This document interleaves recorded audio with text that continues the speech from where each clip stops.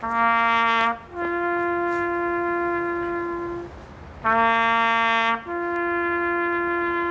thousand fourteen marks the 100th anniversary of the beginning of the conflict initially known in English as the Great War.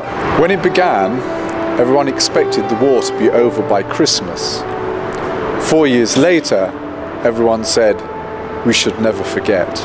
It left virtually no corner of Europe untouched and drew millions of soldiers from remote corners of the world, such as Australia, India, and the United States. Over 9 million died in battle. More had their health ruined by wounds or gas. Many civilians died, and there were millions of refugees.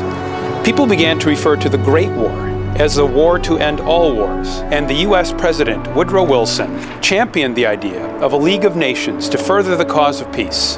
Unfortunately, this effort failed, and World War II followed. But from the ashes of that bloodshed evolved global institutions such as United Nations, NATO, and European institutions which have helped preserve the peace in Europe for almost 70 years. The U.S. marked the end of the conflict by observing a holiday initially called Armistice Day, later Veterans Day, and our British friends have a similar tradition. We remember all who died in the First World War with the poppy that grew in no man's land between the lines of trenches on the Western Front.